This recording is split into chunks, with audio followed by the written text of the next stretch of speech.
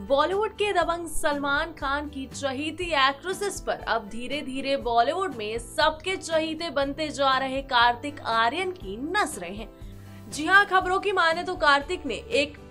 Talk show में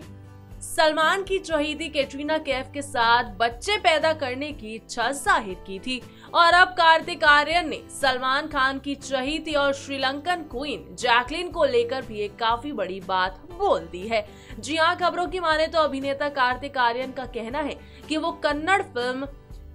Kirik party के Hindi remake में जैकलिन फर्नांडिस के साथ काम करने को लेकर काफ़ी ज़्यादा एक्साइटेड हैं। जी हाँ जिस तरीके से कार्तिक आर्यन अब एक के बाद एक सलमान खान की चहीती एक्ट्रेसेस पर नज़र डाल रहे हैं, उससे तो वही कहीं ना कहीं ये साफ़ हो जाता है कि कार्तिक शायद इन डायरेक्ट वे में कहीं सलमान खान को गुस्सा न दिला दे वेल आपको बता दें, हम नहीं ऐसा सोशल मीडिया पर कहा जा रहा है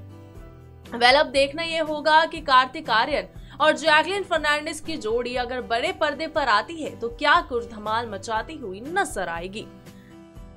नेक्स्ट नाइन न्यूज़ रूम से सुगंधानंद की रिपोर्ट।